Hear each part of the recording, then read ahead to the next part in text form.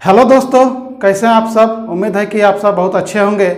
और चलिए, मैंने जो ई का जो क्लास लिए थे, मैथ का जो क्लास लिए थे ना तो हम उनका यूट्यूब में प्ले लिस्ट बना दिए हैं कि ई का जितना भी क्लास है प्ले लिस्ट बना हुआ है ई टेट सी टेट के नाम से, वहाँ ई का जितना भी क्लास है, आपको वहाँ से मिल जाएगा। मैथ का जितना भी क्लास है, मैथ वाला में क्लिक कीजिएगा प्ले लिस्ट में तो वहाँ से मिल जाएगा। मतलब आपको खोजना नहीं पड़ेगा कि ईवीएस का कौन वाला वीडियो है या मैथ का कौन वाला वीडियो आप वहाँ क्लिक कीजिए, आपको वहाँ से मिलेगा मिलेगा, ठीक है?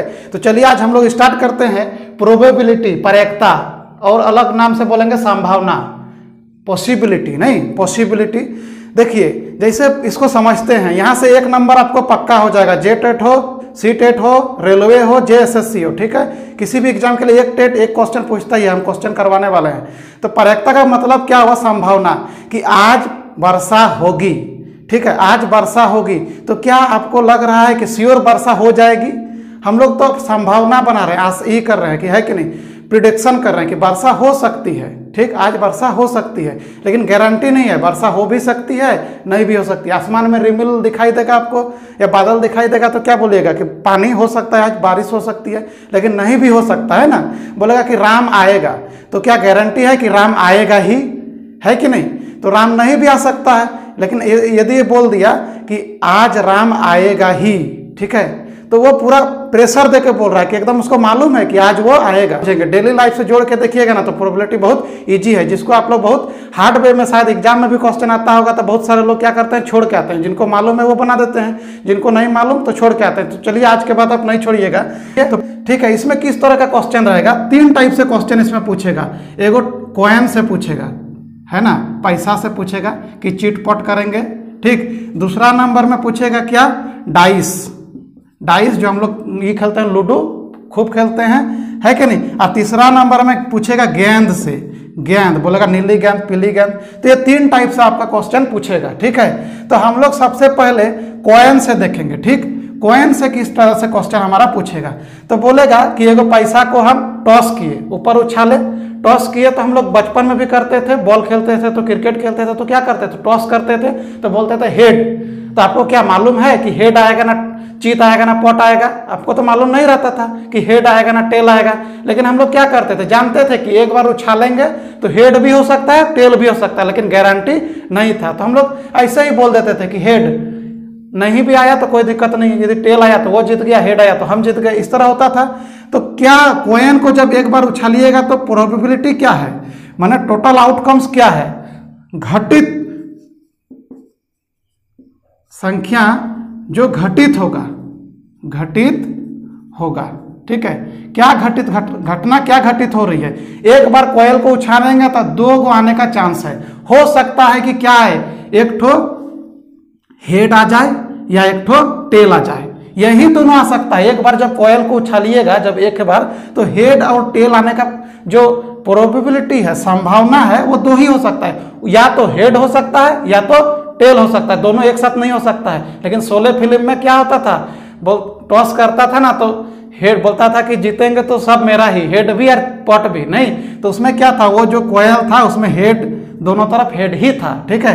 लेकिन अभी जो पैसा है, उसमें एक तरफ़ हेड तो एक तरफ़ टेल तो पॉसिबिलिटी टोटल घटित होने वाली संख्या क्या है? दो ही हो सकता है एक बार हेड आएगा, और एक बार टेल आएगा। तो आपको बोल देगा कि हेड आने की परेकता ज्ञात कीजिए। परेकता नहीं पार्यकता पार्यकता क्या लाने का? हेड आने का। हेड आने का। तो कुछ नहीं।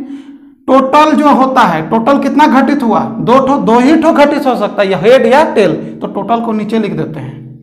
और हेड कितना बार? एक बार टॉस कीजिएगा तो एक ही को हेड आएगा, या एक ही को टेल आएगा। तो क्या बोला है? हेड आने का संभावना। तो हेड आने का संभावना क्या है? एक ही ठो ना है? तो एक बटा दो हो गया। इसी क्वेश्चन में बोल देता कि टेल आने का संभावना बताइए। टेल आने की पर्यकता पर्यकता तो क्या आ जाता? वन और नीचे टोटल वन बाई टू एक ही तो टेल हो सकता है, दो को तो नहीं हो सकता है। ठीक है? इसमें यही हो सकता है कि एक बार हो सकता है कि हेड आए, लेकिन घटित होने वाला घटना कितना है? दो। दो गो में से एगो आ सकता है, नीचे भी कितना? दो गो में से एगो आ सकता है। तो बोलता है टेल आने के परेकता तो वन बटा टू हेड आने के परेकता तो वन बटा टू टोटल को हमेशा नीचे रखते हैं। टोटल को हमेशा नीचे रखते हैं। ठीक है? इसको मिटा देते हैं। देखिए एक बात याद रखिए, परेक्ता हम लोग पढ़ते हैं ना तो परेक्ता कभी माइनस में नहीं होता है। परेक्ता कभी नेगेटिव में नहीं होता है। परेक्ता कभी ऋणात्मक नहीं हो सकता है।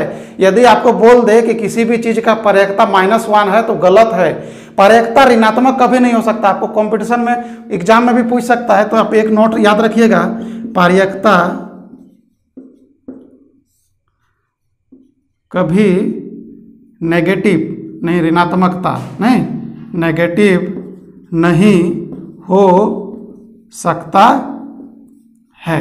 यह बात याद रखिएगा कि परेक्ता कभी नेगेटिव में नहीं आएगा। जब भी आएगा पॉजिटिव आएगा। जब भी आएगा पॉजिटिव आएगा। और एक बात याद रखिएगा कि पार्यकता जो है ना पीई पॉसिबिलिटी है कि नहीं? पॉसिबिलिटी ज़ीरो से बड़ा और ज़ीरो के इक्वल टू हो सकता है। ज़ीरो से बड़ा भी हो सकता है और ज़ीरो के इक्वल टू भी हो सकता है। और वन के बराबर या वन से छोटा, लेकिन वन से ज़्यादा का भी पॉसिबिलिटी नहीं हो सकता है। वन से बड़ा होगा या उसके इक्वल होगा, लेकिन वन से कभी बड़ा नहीं हो सकता है। पारेखता कभी भी एक से बड़ा नहीं हो सकता, इस बात को अच्छा से ध्यान में रखिएगा। कभी आपको क्वेश्चन बोल दे कि पारेखता क्या वन से बड़ा हो सकता है तो नहीं हो सकता है। पारेखता वन के बराबर हो सकता है, इसके बराबर हो सकता है, ठीक है? और छोटा भी हो सकता है। लेकिन वन से बड़ा कभी नहीं हो सकता है। लेकिन ज़ीरो से बड़ा हो सकता है और ज़ीरो के बराबर भी हो सकता है। लेकिन ज़ीरो से छोटा नहीं हो सकता। ज़ीरो से छोटा करेंगे तो क्या हो जाएगा? नेगेटिव हो जाएगा। लेकिन कभी भी पार्यकता जो है नेगेटिव नहीं होता है। इस बात को याद रखिएगा। आपका क्वेश्चन यही से पूछेगा कि पार्यकता क्या ऋणात्मक हो सकता है? तो नहीं हो सकता है। पार्यकता एनी टाइम धनात्मक होगा पॉजिटिव होगा। समझ अवलोकित किए जाते हैं। हम लिख देते हैं बोर्ड में, देखिए बोर्ड में लिखा हुआ है, हमारा स्क्रीन में भी देख रहे हैं, यहाँ भी लिख दिए हैं। तो बोलता है कि एच डिनोट करता है चित को, और टी डिनोट करता है पॉट को, नहीं टी बराबर पॉट और एच बराबर चित। एच डिनोट कर रहा है चित को, और टी डिनोट कर रहा है पॉट को। तो यहाँ क्वेश्चन बोलता है क्या कि चित प्राप्त करने की संभावना क्या है? चित प्राप्त करने की संभावना, चित प्राप्त करने की संभावना। नहीं, यही बोला है निकालने के लिए। तो देखिए टोटल आउटकम्स पहले जोड़ लीजिए। कितना ठो घटना घटित हुआ है? एक ठो, दो ठो, तीन ठो, चार ठो, पाँच ठो छः ठो, सात ठो, आठ ठो, नौ ठो, दस ठो। हम बोले हैं टोटल को नीचे लिख दीजिए आगे। दस ठो हो गया। बोलता है, चित प्राप्त करने का। इसमें एच को चित से डिनोट किया है। एच को किससे डिनोट किया? चित से। तो चित यहाँ को है? देखिए तो एगो, दूगो तीन गो चार गो पाँच गो छः गो तो छः लिख दीजिए ऊपर में और काट दीजिए दो तिया छः और दो पंचे दस। मैंने आंसर क्या हो गया? थ्री बाय फाइव हो गया। थ्री बाय फाइव हो गया। ऑप्शन में दिया हुआ है three by five B number में। समझ में आ गया? तो देखिए कितना आसान है। यहीं पे बोल देता कि पॉट आने की पर्यकता ज्ञात कीजिए। यही क्वेश्चन में क्या बोलता? पॉट आने की पर्यकता। तो पॉट आने का पर्यकता क्या हो जाता? टोटल को नीचे लिख देते। टोटल कितना है? दस ठो है। और पॉट कौ गो है? देखिए तो एगो दूगो तीन गो, चार गो। चार ऊपर में लिख दीजिए तो दो गुना चार, दो पंचे दस। हो गया दो बटा पाँच। यदि इस क्वेश्चन में पॉट बोलता तो दो बटा पाँच हो जाता तो देखिए कितना इजी है। टोटल संभावित घटना।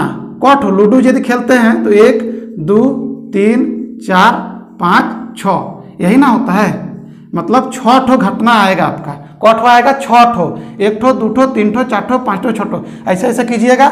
हो सकता है एक भी आ सकता है, हो सकता है दो, हो सकता है तीन या चार या पाँच या छ। यही हो सकता है। तो टोटल कितना हो गया? छ टोटल छ हो गया। कितना हो गया? छ अब आपको क्वेश्चन बोल देगा क्या?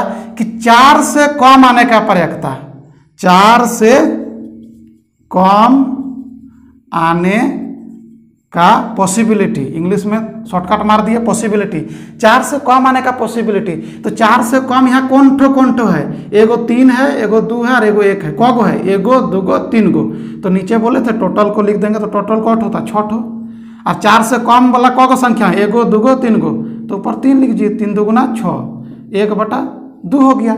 कोई दिक्कत? इसी क्वेश्चन में बोल देगा कि चार से ज़्यादा आने का पर्यकता चार से ज़्यादा। चार से ज़्यादा आने का पर्यकता।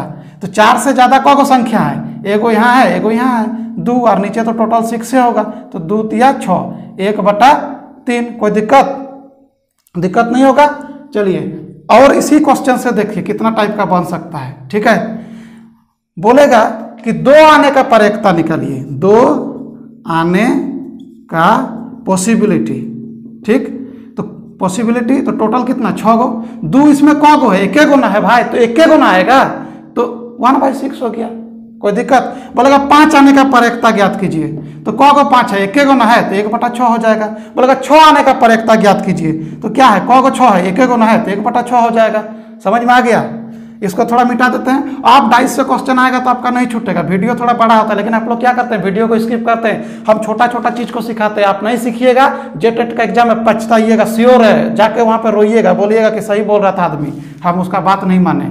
ठीक है? इसलिए वीडियो को पूरा देखिए। हम आपको चाहते हैं कि आपका पचास हज़ार का जो सैलरी है, आपका पॉकेट में घुसे और जो भी लड़की मेरा वीडियो देखती है कि कहीं भी निकले तो तात का साड़ी पहन के निकले, कि आदमी भी देखेगा ना तो बोलेगा हाँ कि कुछ इसको नौकरी मिला है। तो आप मेरा वीडियो देखिएगा ना तो आपको मालूम चलेगा कि ये हम जो कंटेंट पूछ रहा है, उसी को दे रहे हैं आपको। उल्टा पुल्टा कोई चीज़ नहीं बोलते हैं। ठीक है? यदि बोलेगा कि सम संख्या आने का प्रयकता तो इसमें कौ गो सम संख्या है? एगो ईठो है, एगो ईठो है, और एगो ईठो है। यदि सम संख्या आने का प्रयकता बोल देगा तो कौ गो सम संख्या है? सम संख्या आने का प्रयकता सम सम संख्या आने का प्रयकता तो नीचे तो छः ही होगा। लेकिन सम संख्या कौन तो कौन तो एगो दो गो सम संख्या चार गो सम संख्या और छः सम संख्या तो तीन बटा छः हो जाएगा। तीन दुगुना छः एक बटा दो। तो डाइस से आपका जिस टाइप का क्वेश्चन बन सकता था, आपको हम आराम से बना दिए। चलिए, गेंद गेंद बहुत इंपॉर्टेंट है, गेंद वाला। बोल दिया कि गेंद है, ठीक है? एक बैग में गेंद है। बोल दिया कि तीन गो लाल है। लाल गेंद तीन गो। लाल, नहीं, रेड, बोला तीन गो गेंद है। वाइट है, माने सफ़ेद वाइट सफ़ेद सफ़ेद गेंद कौ गो है? बोल दिया कि पाँच गो है, ठीक है? और नीला गेंद है दो ठो, नीला दो ठो है है ना? और बोलेगा क्या कि लाल आने का परेखता ज्ञात कीजिए मतलब पी और आर से डिनोट कर दिया तो रेड हो गया तो टोटल गिन लीजिए, तीन और पाँच, आठ और दो, दस टोटल दस नीचे होगा। तो लाल, बोलता है कि बिना देखे हाथ डाला तो बोलता है कि लाल आने का पॉसिबिलिटी क्या है? तो भाई, तीन गो लाल है तो तीने गो ना लाल आ सकता है। ना चार गो लाल आ जाएगा, तीनों को लाल आएगा तो तीन बटा दस। बोलेगा कि पॉसिबिलिटी बताइए व्हाइट का। तो व्हाइट कौ गो है? नीचे तो टोटल दस गो है। व्हाइट कौ गो है? पाँच गो है। तो पाँच बटा दस, माने एक बटा दो। यदि बोल दे आपको कि पॉसिबिलिटी आप ये नीला एम से डिनोट कर दिया नीला को तो नीला कौ गो है? दो गो है तो दो बटा दस। दो पंचे दस एक बटा पाँच। बस यही क्वेश्चन आपको पूछेगा। अच्छा है। तो हम लोग नेक्स्ट क्वेश्चन को देखते हैं कि बोलता है कि किसी थैले में सफ़ेद सफ़ेद गेंद कौ गो है? तीन गो है। लिख लीजिए। नीला ऐसे लिख लीजिएगा। नीला दो गो है और लाल कौ गो है? लाल पाँच गो है। तो टोटल कितना हो गया? टोटल टोटल देखिए तो पाँच तीन आठ और दो दस। टोटल आउटकम्स मेरा दस हो गया। कोई दिक्कत? दस हो गया दस याद रखिएगा। तो बोलता है कि थैला से एगो अपना इच्छा से कोई गेंद उठा लिया। तो बोलता है, इसका क्या पारेखता हो सकती है कि निकाली गई गेंद लाल रंग की नहीं है? माने लाल रंग की नहीं है। लाल नहीं है। तो लाल यदि नहीं है बाबू तो तो पारेखता क्या होगा? नीचे तो दस होगा ही होगा। दस लिख दिए। तो बोलता, लाल नहीं होना चाहिए। तो लाल नहीं होना चाहिए तो कौ गो बच्चा है?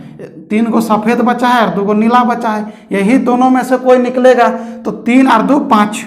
पाँच बटा दस, एक बटा दो हो गया आपका आंसर ठीक है, एक बटा दो किसमें दिया है? बी नंबर में तो बी नंबर आंसर बोल दिया क्या कि लाल नहीं है।